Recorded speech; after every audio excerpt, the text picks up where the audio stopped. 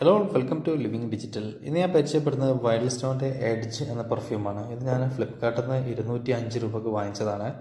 അത് Flipkart big billion സെയിൽസിൽ ഒരു offer ഉണ്ടായിരുന്നു. അങ്ങനെ വാങ്ങിച്ചതാണ്. അപ്പോൾ ജസ്റ്റ് ഇതിന്റെ ഫ്രാഗ്രൻസ് എന്താണെന്ന് അറിയാൻ വേണ്ടി മാത്രം വാങ്ങിച്ചൊരു പ്രോഡക്റ്റാണ് അപ്പോൾ എനിവേസ് പ്രോഡക്റ്റിന്റെ കയ്യിൽ കിട്ടി ഇത് സാധാരണ നമ്മൾ വൈൽഡ് സ്റ്റോണിന്റെ പെർഫ്യൂംസ് കാണുന്ന പോലെ തന്നെ സെയിം ലുക്ക് തന്നെയാണ്. ഒരു പ്ലാസ്റ്റിക്കിന്റെ ഒരു ആറ്റോമൈസറും പിന്നെ ഒരു ജസ്റ്റ് ഒരു ബോട്ടിൽ ഒരു ചെറിയൊരു ഫിഫ്റ്റി എം എല്ലിന്റെ ചെറിയ ബോട്ടിലാണത് അപ്പോൾ എനിവേസ് ഇതിന്റെ ഫ്രാഗ്രൻസ് എന്താണെന്ന് വെച്ചാൽ ഇതിനൊരു ഒരു ഫ്രഷ് ഓപ്പണിംഗ് ആണുള്ളത്. പിന്നെ ഒരു സ്വീറ്റ് മിഡിൽ നോട്ട്സും ഒരു കുറച്ചൊരു വൂഡി ആയിട്ടുള്ള ബേസ് നോട്ട്സുമാണ് വരുന്നത്. അപ്പോൾ ഇത് ഏത് പെർഫ്യൂമിന്റെ ഫ്രാഗ്രൻസ് പോലെയാണെന്ന് ചോദിച്ചാൽ പാക്കോറബാൻ ഇൻവിക്ടസ് പെർഫ്യൂമിന്റെ അതേ ഒരു കോപ്പി ആയിട്ടാണ് എനിക്ക് ഇതിന് തോന്നിയിട്ടുള്ളത്.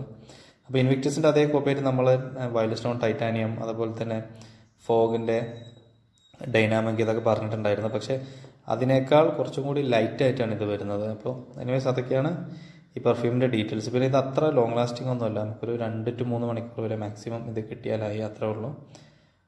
ഓക്കെ സോ ഒരു അത്ര ലോങ് ലാസ്റ്റിംഗ് അല്ലെങ്കിലും നല്ലൊരു ഓഫീസ് പെർഫ്യൂം ഒക്കെ നോക്കുന്ന ആൾക്കാർക്ക് കൺസിഡർ ചെയ്യാൻ പറ്റിയ ഒരു പ്രോഡക്റ്റാണിത് so that's all about this video thanks for watching